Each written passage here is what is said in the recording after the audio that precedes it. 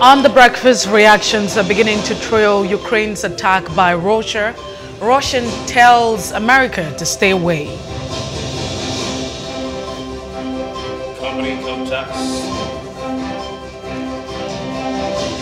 Company income tax recorded 124.71 billion decline, a narrow decline from 472.52 billion naira in quarter 3 2021 to 347.81 billion naira in quarter 4 according to the National Bureau of Statistics.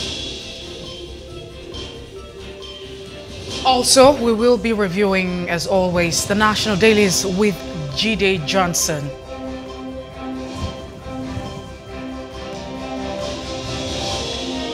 Very good morning to you. We're back with the breakfast on Plus TV Africa.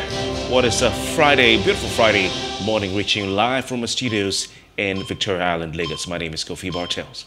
And I am Mercy Ebokpo. It's good to be back on your screen, and thank God it's Friday. Yes, indeed. Yes, indeed.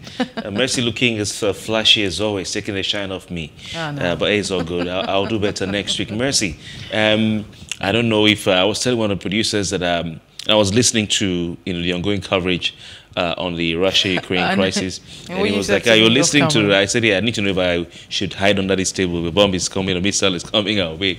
Um, but um, yeah, Russia, Ukraine took the, the most of the discourse, you know, by people not just around the world but in Nigeria yesterday, and um, uh, the eyes of everyone ha- having fixed on, on on what's going on in in Eastern Europe.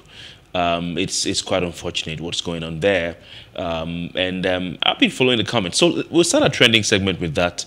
You know, um, I don't know what you've been seeing and what people have been saying as far as you have noticed.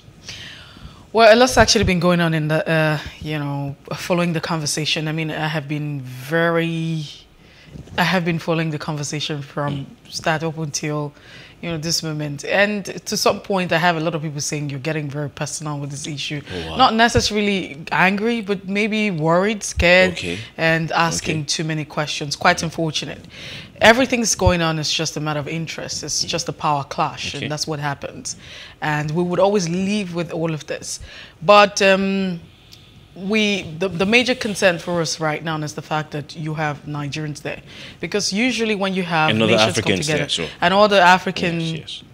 you know, African countries around. Especially But- students. students really now but usually uh, when nation state comes together they would always think about national interest i mean home interest and so um, home interest would always supersede you know the global as much as we constantly say there's need for global global peace globalization prosperity and all of that school of thought. But that's not the real sense. In reality when people when nation state come together they think about you know personal interests. They begin to think about themselves as a country. Russia would think about russia. Ukraine would think about ukraine. Nigeria should think about nigeria. China would think about china india and what have you. But really on uh, the, the major concern is the fact that you have a lot of persons who are who are studying uh, you know, in Ukraine, students really, and there's been a lot of concern. We saw that video of some students talking about the need for safety. You could see all of the rush and what have you. And there's been this argument whether or not the, the federal government should evacuate students or the parents or, you know, this student themselves should leave. Because prior to this time, uh, there's been a lot of call. I saw a tweet at that time where someone was saying it's important that Nigerians in Ukraine should begin to move away uh, because of what's going to happen. But I, I kind of think that a lot of people were very lax because they thought that Russia will probably not, you know, invade or attack Ukraine, and so people felt like, hey, it's okay to just relax. I, I actually tried to put a, a call across a friend who has a daughter in Ukraine who's studying, Oh, and you know that call didn't go through. Necessarily, she didn't pick, but I'm just hoping that everything is, you know, very all right. Mhm. It's it's um it's that time when you call you know your your loved ones and your friends and if if you remember this isn't the first time we're having to call friends and loved ones in Ukraine. Um, at the start of the Crimean crisis, we're, we're all panicking because we have a lot of Nigerian students in Ukraine. It's one of the countries that um, you find it easy to go to to study um, amongst the Eastern European countries. Um, uh, and there are a lot of Nigerians in Crimea and there are Nigerian students, I'm saying Crimea and Donetsk. Donetsk is one of those places that wasn't part of the in initial you know, breakaway uh, regions until recently. And uh, it's uh, one of the major, major cities in Ukraine. And that was taken over by Russian-backed uh, uh, rebels. Russia has been fighting a proxy war in Ukraine also, but we'll go into that with the experts when they come on board. But um, um, the, the Nigerian Nigerians have been calling on the on the uh, government, government, to say something, you know, say something. I'm, I'm wondering why Nigerians want the government to say something. You know, people have been going on, you know, on, on social media, especially Twitter, blasting the government for not saying anything. It's somewhere even timing, you know, that the war has started. This is this is 10 hours. Government, that's not how it works. You know, you don't want to be quick to take sides because you want to see how it plays. If, um, for instance, you because once you take sides, it's going to affect you years and, and decades down the road. You know, so I mean, if the Nigerian government takes a pause, because there's nothing you say that would affect this, what are we going to do? Are we Nothing. going to send in troops? Nothing. It's right. Vladimir Putin going to say, "Oh, this is actually a nuclear war." Is, is Vladimir Putin going to say, "Oh, um, uh, Buhari said he's uh, against uh, us. oh, I'm not going to go again. They don't care. We, we don't figure. We are not part of the equation. In this global discussion, we don't figure. Let's just get the truth. And I leave, leave President one. Buhari alone. All those on Twitter who are, you don't understand what's going on. Leave, leave, leave, but we shouldn't say anything. Hey, what if they say, okay, we, we can't even say anything. What if we say, okay, even if you say you are you are going to be in the middle of the fence, uh, uh, urging both countries to exercise restraint, all right? Um, both will say, well, you didn't say anything for me. You know, when you spoke, you so let them take their time. All right, let uh, Geoffrey Onyeama and uh, all those guys take their time and figure out what to say. Because whatever he's saying now, whoever he side with now, whichever way the pendulum of international politics and you know um, the part also swings, you might lose out. You understand? So let, let them let them leave the, the country for, for now. But anyway, the government has been speaking. Um, we'll look at that later. But but the House of Representatives seems to be the more um, quick vocal and vocal, yes, and people-centered, you know, uh, a chamber because they, of course, they have they're like a parliament. They have representatives from from everywhere, you know, not just three per state, and. Um, uh, they have demanded an immediate evacuation of Nigerians in Ukraine. Um, they're offering to shoulder the responsibility.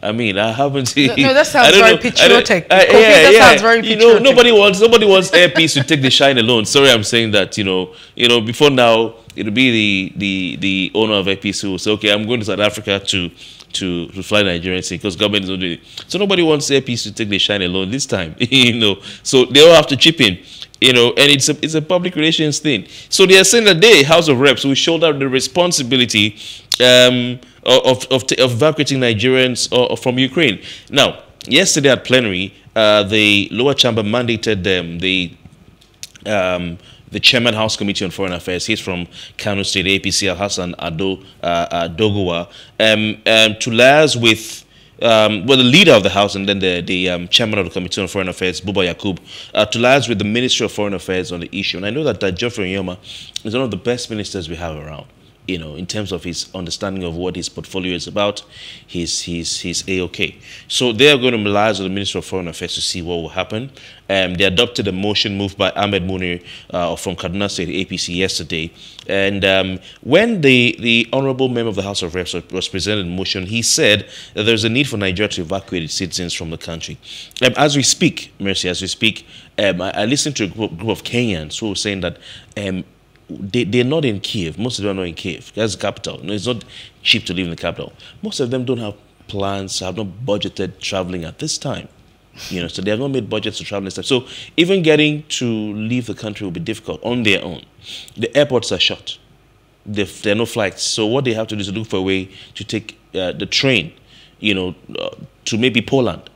You know, but they, they, they, yeah, but the train stations are even um, uh, uh, uh jam packed on the roads, yeah, they, they, there's traffic. The roads are jam packed. You know, now for you to even move, you have to get money. And they said that the queues at the ATM points are so much, much more than they can they've seen. And even when you stand on the ATM queue for hours, when you get to that the point where you have to dispense or get your money, you're not sure if the ATM is going to give you money.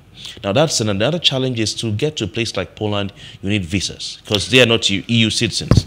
The Nigerians, the Kenyans, the Ghanaians, and other countries, other nationals. So they need their countries to get them emergency visas to be able to go to Poland. It's from Poland, probably they can fly, except the Ukrainian um, airspace is open. Now, do you want to be flying in an airspace that has missiles, you know, moving all over? Remember what happened in Crimea? No, no, the, the, the, truth so, is... So, so, so, so the, the, the, the immediate thing is for the Nigerian government to collate the list, have a list, um, get the names and numbers of, of and contacts of people, Nigerian students and Nigerians who are living in, in Ukraine. So, yes, and then try and get them to Poland or try and get them visas, you know. So, so one of the thing, concerns that I actually had because we also saw uh, the report from the Nigerian embassy in Kiev, and we we could actually see mm. now from looking at the statement because it feels like we have series. I mean, we have a series of statement or mm. comments that has been put out by the. Did you see the one from the Foreign Affairs Ministry? Yes, really with the so grammatical troublesome. grammatical error. Yeah, errors errors, what have you, the you fact know. that you don't even have an understanding of the situation. Because right now, in war zone, those who are actually calling, there's no insurance to cover these aircraft. So even if you have the National Assembly trying to be very proactive and, you know, be a superstar, mm. which is very applaudable, mm. and like I would say, it's very patriotic of them. But we also need to understand insurance doesn't cover this aircraft in war zone. It's a war zone right now. Mm. And the Ukrainian airspace has been shot. It means that everything that's flying is going to be brought down. It's too risky. Now, what a lot of people are saying is prior to this time, why didn't we move for the evacuation? I remember a tweet that was out. I, I, actually think I posted a tweet on my own personal space. That's on my WhatsApp. And the tweet actually talked about evacuating Nigerians and asking Nigerian students in that space to leave. But you know, it was actually a dilly-dally situation where a lot of people were in doubt, in doubt whether or mm. not Russia would at attack Ukraine mm. or invade Ukraine however, but this is what the reality is. And one would think that if the government had thought about it, it would be, it would be great. Even though some people would say you also have um, the, the, United Kingdom, you have other countries have not evacuated its citizens because no one actually thought that this would really, really happen, that Russia would invade Ukraine and this would actually happen. But right now, I, I looked at, you know, the, um, the letter from the Embassy of India in Kiev and it, it, it you could see that in the letter, it was really very brief, I mean, just two paragraphs or three. Mm. He understood the, the dynamics. And that's where my concern is. The fact that you understand that the airspace has been short. There's several reports ac across. So you can't even say that, oh, we're going to be moving aircraft. That's what the Nigerian government is saying. Very applaudable oh, to evacuate. How are you going to do that? It's too risky. But people will say the hustle has to continue, even though that, uh, the original meaning of hustle is quite different from what we, we okay. get okay. to say. Okay. So, but like you have mentioned, the plan is that people would find themselves, because other countries are also using using this, find a way to get to Poland, and then evacuation can actually start. And maybe, maybe that might just be the plan for the Nigerian government. Well, well the, the, the, yesterday, the Nigerian embassy in, in Ukraine, you know, um, uh, there was a joke going on around social media um, that uh, someone said the call, some people said they called the minister and he was not picking his call you know, so people started joking, saying, no, the, the, the, the, ambassador, sorry, and he wasn't picking his call. And some people started saying, no, he is going to, he's trying to take himself and his family out. Why would he pick a call at this time? When missiles are flying over. But anyway, the official statement then, yesterday from the Nigerian embassy in Ukraine, they were urging um, Nigerian citizens to remain calm and uh, be responsible for their own personal security. That's what I talked about. Yes, you know, and also the advice also want to relocate to a safe place to ensure that they validate all their documents for ease of return to Ukraine when they desire. You know, so um, you know, it, it just shows that that you know the government can't do as much as people want them to at this time. You know, even when you're talking about evacuation, even the United States has not evacuated its citizens are officially, you know, from from Ukraine. I haven't seen anything. So, um, so for me, my concern is. Uh, let me quickly just run through this now, Kofi. I'm sorry. Yeah, no. Um, the embassy of it says uh, this is to inform all Indian nation, Indian nationals in Ukraine that since the Ukrainian airspace has been closed, they understand that it's been closed because it's a war zone. The schedule for special flights stands cancelled. I don't know if you understand. So alternative arrangements are being made for evacuation of Indians National Embassy will convey uh, information as soon as such arrangements are finalized so the Indian nationals can relocate to western part of the country. And we have also mentioned Poland and all of this. Now, uh, they also say that so um, so they're asking that please carry your passports and necessary documents. You can all, you're also advised to follow the embassy website and social media on Facebook, Twitter, and Instagram post for updates on this regard. For reference, details of the embassy helplines are contained below, and so you have the telephone lines, you know, stated. And that's it. Very simple. Just go look at it as. It's very lengthy, but it just feels like you don't even understand what's going on. Even though I know that after that there's been a lot of communication saying, oh, yes, we're going to make prior arrangement and all of that. But however, it's okay that the Nigerian government is also showing interest. Some people say that they should not be totally dependent on, uh, you know, the government I mean, it should not be the responsibility of the mm. government because mm. you have parents who are responsible for their wards and kids, or you have uh, people, guardians who are also responsible for their kids and what have you studying in Ukraine. But um, it's really sad especially if you've not experienced war, yes. you never can tell what how that feels like. You can only imagine, and our prayers and our hearts are with uh, those in uh, Ukraine, Russia, and everyone, and also with Nigerians. And we're hoping that we'll do everything possible. Everyone will come together and find a way to ensure that lives and properties are saved. All right. Um, another one that uh, also, you know, is a cause for concern and um, giving people a reason to be upset you know, uh, it might not be Ukraine, this is Nigeria. Um, the Kaduna State uh, Governor El Rufai, Nasir Rufai, saying that uh, no fewer than um, 3,348 um, residents of Kaduna State had been kidnapped, and uh, no fewer than 1,192 of them had been killed by uh, uh, bandits in the year 2021 alone. You know, um, he's talking about banditry in the northwest being more serious than the Boko Haram insurgency. That's what he's saying. Banditry in uh, the northwest is being is more serious than Boko Haram, and this is Kaduna State we're talking about in 2021 alone. First of all, I think that um, uh, for the government of Kaduna State, is this one of the, the the, the performing governments, the organized governments in Nigeria? Um, you see people sit down here in the southern part of the country and they spew rubbish, you know, because they don't know what's going on. Yeah, um, is one of the the, the performing governance. And if you look at the, the structure of government, you understand the structure of government. It's, it's um, for me, to be able to collate the figures is one thing. Okay, at least to know what's going on is one thing. Um, governments, state governors these days do not have um, the the full and total control of security apparatus in their domains to be able to do what they would like to do. You understand? And um, last time we talked about Rufai meeting through his deputy with um, chiefs, uh, rulers, leaders, you know, traditional and uh, religious, um, as well as youth groups, trying to tell them that they should not attack themselves. And then some days later, there were attacks and reprisal attacks in some part of that um, that state. So I, I, think that for us to hear and see the statistics is one thing. Um, it's good that the government is keeping their, their, their hands on to know what's going on. But at the same time, people want to hear that something is being done about this. Um, so, so is this a call by um, the government of Kaduna State to the federal government to say we need to have the, the same the same you know measures that you're having for the northeast in terms of um, the Boko Haram insurgency? You have to apply something like that for the northwest in terms of banditry, because right now, as it seems, is is taking more lives than Boko Haram. Um, he says that Kaduna State government so far spent 21 billion naira, okay, uh, on supporting the security agencies in terms of logistics to fight bandits in the state in the last seven years. So how come nothing has been achieved?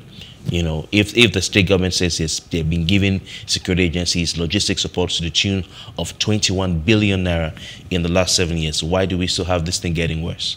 So, I mean, it could, it could be, um, you know, encompassing. First of all, the fact that we have to establish that uh, these governments are not in control of the security architecture of the country. But for me, I don't hold that as an excuse for these governors. Uh, yes, as much as that sounds very valid, that uh, the Commissioner of Police is not answerable to the governor of the state, and then he takes his command from the IGP. Uh, that's a lot to worry about. We also need to look at, you know, the number of police officers that we have across. Personnel it's a great issue. Over 211 million people or 200 people, 200 million people, that's the latest statistics, 211 from the United Nations as of, uh, you know, 2021 July to be precise. So it calls for a lot of concern. Um, could it be that there's also, because it goes beyond that, if the government is saying we're supporting with logistics, then what could be the issue? There could be sabotage, and the issue of intelligence is also required. Now, for um, some of these excuses has been given as a governor of a state, as much as we would want to agree with you and agree with the fact that yes, you're not in control of the security architecture, we also cannot take out the fact that you are the chief security officer and you should be responsible. Now, he said that yes, he's been providing uh, support, the state has been providing logistics to support security officers. Is it that these men are overpowered? Uh, is it that they need intelligence? Because it goes beyond that. There could be also issues of sabotage where those who are working in the system compromise the system. And so there's a lot that needs to be done. And we also would want to say that if you look at all of this, the fight, most times it's just you know how we have handled the security issue across board. And that would also send a signal to all the criminal elements i beg to say um, who would who would always want to think that because we don't there's really no nothing going on so we, we can just go out there and do whatever we want to do. Nothing's going to happen. And so that might just be the case. But however if this is the case with if this is something to go by then, then, there's a lot to be done. You also need to look at the issue of um, you know the manpower. Do, do they have enough manpower? What's the level of intelligence? They also need to look inwards to understand if there's any sabotage that's going in or that's going on with the system. Interesting. So, so, so, so, Mercy, you know, El-Rufai is saying, you know, that, you know, while saying that 3,000, Governor El-Rufai, while saying that 3,348, uh, you know, people in Kaduna State had been kidnapped in 2021 um, as a result of banditry, and 1,192 persons in Kaduna State had been killed. It's saying that, that those killed or kidnapped or even injured as a result of uh, banditry in, in Kaduna State, um, it, it's not as much as you have in, in Katsina State and Zamfara State. That the ones from Zamfara State are three times more than you have in Kaduna State, and the ones from uh, Katsina State, the president's home state, uh, three times more than you have in Kaduna State. Um, so he's saying that he's persuaded that the banditry situation in the northwest is far more serious than Boko Haram, both in terms of number of the people affected, um, and and so so so, you know, when we say you know governors are chief security officers um, of of states, um, uh, you know, there's it's not really a constitutional provision um, and you can see that when Babajide Sanwo-Olu went to Magodo in Lagos State and told ordered the police officers there to stand down, they told him to call Abuja. You know, so um, I usually do not go to that. They do have a, a level of influence, especially when they're on the same page with the federal government. In this case, the APC is on the same page because it's APC in Kaduna State as is APC at the center. So yes, they do have a level of leverage, you know, and they do have a level of influence. You can see even in, in PDP controlled states like River State, when it came to the issue of um, going after, what do you call it, uh, uh, illegal refinery, you know, spots, the, the, governor was able to mobilize and galvanize security architecture of the state to do that. Um, but, but, but I think that um, at, at some point you need a level of um, uh, organization and, and attention and uh, military uh, uh, or security hardware, you know, and commitment to tackle issues based on the the the, the seriousness of the situation. So, for instance, you look at Hope Uzodinma, governor of Imo State, who hopped on a plane and went to Abuja to see Mr. President, even though he was away for longer than he took, should have taken, you know. But, um, um, you know, he went to see Mr. President. He said he went to ask Mr. President for military support um, to handle the security situation in the southeast, especially in Imo State. Um, what you're seeing here, uh, it, it, it is beyond the scope, I think, of what the governor sh alone should handle. Um, Nigeria, as we speak, it's not just a Kaduna State matter. It's Kaduna, Katsina, Zamfara State, and other states. The country is in danger of being overrun by bandits. Um, the borders are porous. It's a territorial integrity issue. And it's not one thing for a state governor to handle. Nigeria's territorial integrity is under attack by people who are coming in from all parts of West Africa. And we all know from the experts who have spoken, you know, that um, uh, the, the insecurity and the instability know, in the Sahel area, in, in Libya, for instance, has um, affected other parts of, of West Africa. So, so you have, you have, you have, we have to have a, um, a concerted and, and, wide, wide, wide, wide-ranging, you know, you know, effort, you know, if I can call it that, I want a better word, from the center to say, what do we do? When Nigeria was attacked under um, the Shagari administration, and this same president um, was in was in charge of security in that part of the country. You know, he was able to galvanize Nigerian troops to chase out Metasina. You know, even on when the president had ordered that he stop okay. into Chad. So so so um, I don't know. Is is El-Rufai communicating with Mr. President? Is, so, is the president aware of what he's saying? Because it's not just enough to say these things uh, to the newspapers and the TV stations and radio stations. Um, what is the president saying? What has he said? Has he gone to Aso Rock to, to say, Mr. President, I want to see you. What are you doing? So, you know, I, so, so I, when I constantly say that, know. So, so for me, when I, I, when I say that, we understand the fact that the security architecture is in the exclusive list, and because it's very sensitive, we feel like the um, the argument over time would be that the center is overburdened with several concerns and issues. There's need to decentralize. As a matter of fact, if we truly are a federal capital, if we truly are a federation, then you know states should be able to control the security apparatus. But you would also have some school of thought who would say, does that solve the security security issue. Peradventure, we get to a point where we have, I mean, states controlling the security architecture, and then they have control. Will, will this issue of bandits and banditry uh, be solved? So number one would be the fact that you look at the fight against in, insurgency or the fight against bandits and crimes and criminal. We haven't treated this, there's no implementation. It feels like we have treated this with kid glove.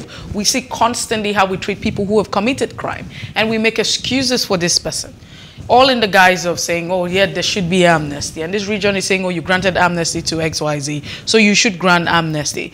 The, at the end of the day, it boils down to the political will to address the issue of security and, you know, all of the concerns that would arise from all of that. So, yes, for the reason that I would always argue that you can't, the governors should not, as much as we know there's no constitutional provision for them, you know, to tackle, uh, to handle the security architecture in their states, they're not responsible. However, you can also not take out the fact that you are governor of a state whatever it takes, however it takes, just as a lot of them would say, whatever it takes, you know, to become in power. You should be concerned about the people in your constituents, the people that you govern, not also taking out the fact that security votes have been put out. So if the Nigerian governors are very interested, and if the Nigerian governors are very sincere, if they really want to tackle this issue, nothing stops them. 36 governors, why can't they have one voice for, for once? And if they think that the issue is the fact that they don't control the security architecture, then they should be pushing for the issue of restructuring and decentralizing, you know, or having the exclusive right transferred to, um, you know, the component unit. That's the unit if the 36 governors, so it means that they're not in unison. What stops all of them? Imagine the 36 governors are advocating for uh, the police to be decentralized. I mean, that, that power should yeah, be transferred yeah, from the, from the, the you know, the, yeah, the, the, center to the units. If that, the, if that's the challenge. But so I'm saying that it goes beyond the challenge. It also, I mean, we also need to look at the fact that what is the willingness? How many persons have we prosecuted? How many persons have we arrested? How far have we dealt with this issue? Are people paying for what they have to do? Is the law taking its course? So this, these are some of the issues, and you also need to look at the number. And we're talking about strength in this point. How equip uh, the men of the Nigerian police.